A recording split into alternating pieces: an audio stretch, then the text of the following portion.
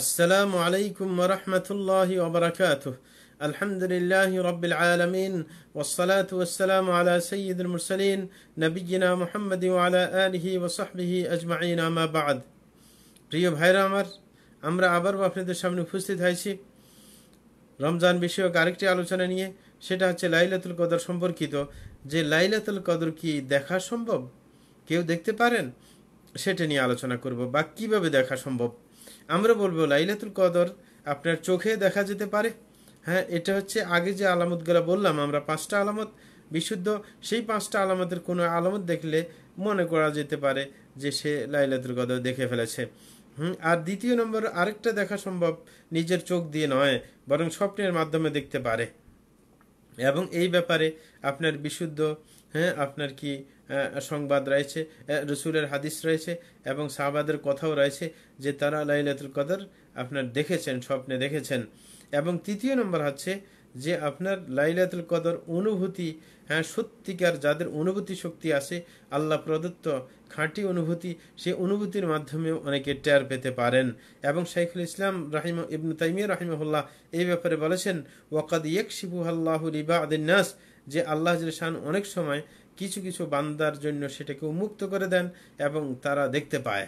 হুম, সুতরাং কিছু কিছু বান্দা তার অনুভূতি, প্রখর অনুভূতির মাধ্যমে সে অনুভব করতে পারে।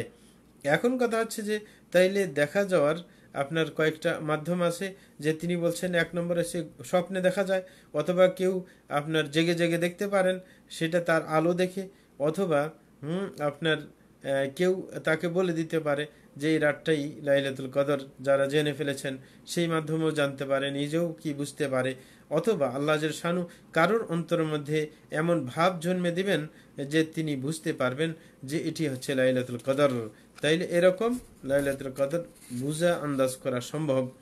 এবং আল্লাহ আলবানী রহমতুল্লাহ আলী হ্যাঁ তিনি তৃতীয় প্রকার সম্পর্কে যে মানুষ অনুভূতির মাধ্যমে সেটা জানতে পারে, এই সম্পর্কে বলেন যে আশরুর ওয়াল এহসাসুল কালবি, সেটা হচ্ছে অনুভূতি।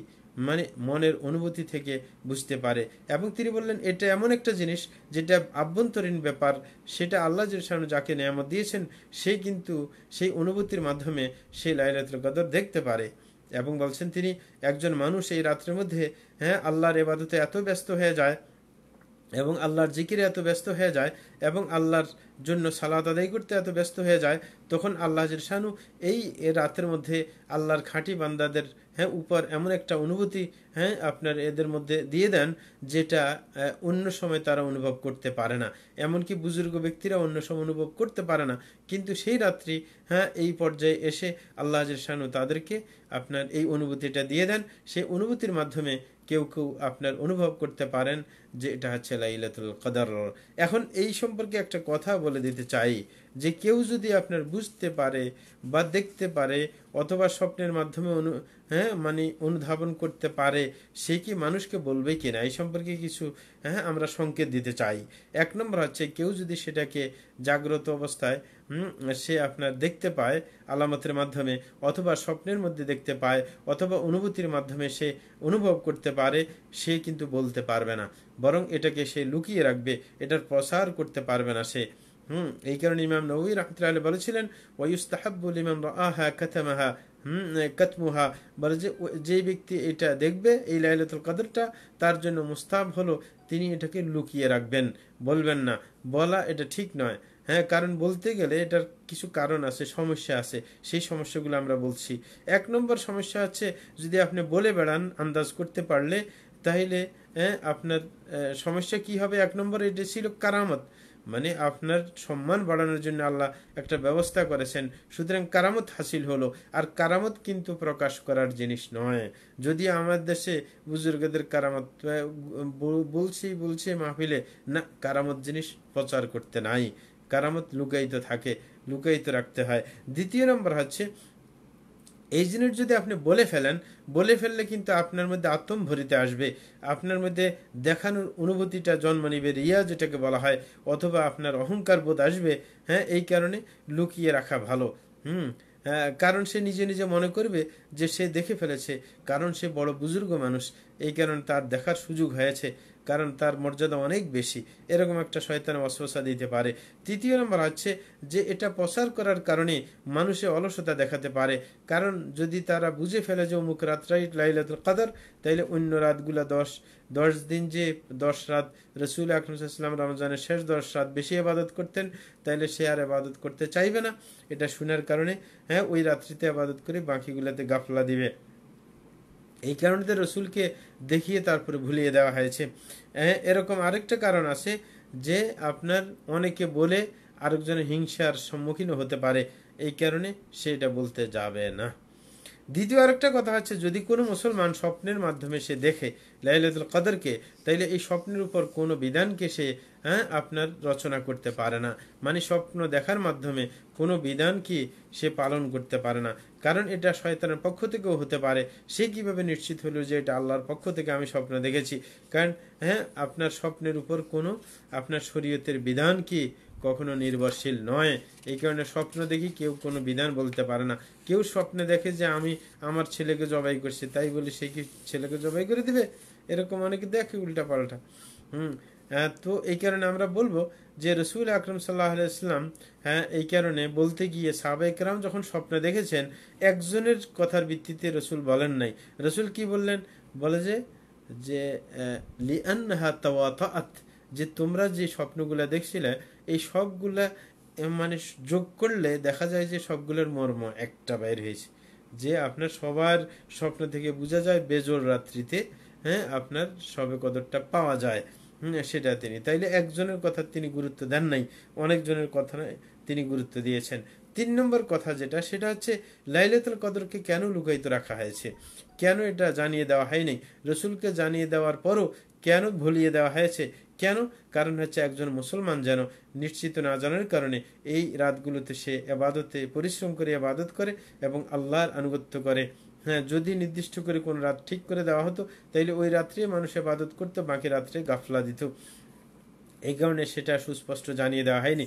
হ্যাঁ চার নম্বর যে কথা, সেটা হচ্ছে হ্যাঁ যে আপনার লাইলাতুল কাদার লাইলাতুল কাদার যে ক্যাম করার ব্যাপারটা এটা যদি কেউ পুরো রাত্রি জাগ, জাগরিত থাকতে নাও পারে, তারপরে ইমাম সাহেব যতক্ষণ পর্যন্ত আপনার রাত্রিতে সালাত আদায় করেছে, ততক্ষণ পর্যন্ত যদি ইমামের সাথে আপনি সালাত আদায় করেন, অর্থাৎ সে যখন তারাবির নামাজ পড়েছে ভিত্তির সহ এই পুরা নামাজ যদি তার সাথে পড়েন প্রত্যেক বেজর রাত্রিতে হ্যাঁ তখন আপনি কিন্তু ওই রাত্রি যদি কোনো বাই চান্স আপনি জানেন না কিন্তু লাইলাতুল কদর হিসাবে প্রমাণিত হয়ে গেল, তাহলে কিন্তু আপনি সব পেয়ে যাবেন।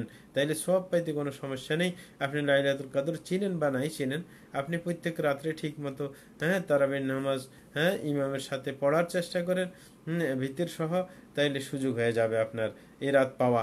পাঁচ নম্বর যে কথা বলে আমরা শেষ করব, সেটা আছে, এই যে লাইলাতুল কদরে যে ক্যাম্প করার যে সোয়াবটা হুম, এটা আপনার ওই রাত জানার সাথে সম্পৃক্ত নয়। এটা খেয়াল রাখবেন। কেউ বলতে পারে যে, না, আমি তো জানতে পারলাম না।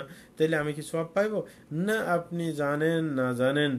হ্যাঁ আপনি ওই রাত্রে শুধু ওই যে আগে বললাম, চার নম্বরে যে ইমাম যতক্ষণ সালাত আদায় করে, ওই রাত্রিতে আপনি তার সাথে অতটুকু সালাত আদায় করলে আপনি ওই সবটা পুরোপুরি পেয়ে যাবেন। তাইলে আপনার জানা কোনো শর্ত নয় হ্যাঁ যে ওই রাত আপনাকে চিনতেই হবে। আল্লাহ আমাদেরকে হ্যাঁ সঠিকটা জানা তৌফিক দান করুন।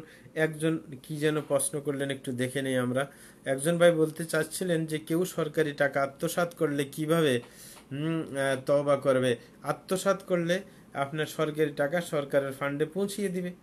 হুম বলে যে, জনগণকে টাকা দিলে হবে যদি জনগণের জন্য বরাদ্দ হয়, তাহলে জনগণের টাকা জনগণের মধ্যে বিলি করলে হবে। আর যদি জনগণের জন্য না, এমনি সরকারি টাকা সে মারছে তাইলে সরকারের ফান্ডে ফেরত দিতে হবে। যেমন আরব দেশে সিস্টেম আছে। আমি যখন সেনা এলাকায় ছিলাম, দেখতাম সেনাবাহিনীর মধ্যে একটা নম্বর বিতরণ করা হতো। হ্যাঁ যে ওই নাম্বারের মধ্যে কেউ যদি আপনার দায়িত্বে গাফলা দেয় অথবা কোনো আত্মসাত করে, সে যেন ওই অ্যাকাউন্টে টাকাটা জমা দেয় তাইলে সরকারের কাছে পৌঁছে যাবে। আমাদের দেশে এরকম নিয়ম করা দরকার ছিল।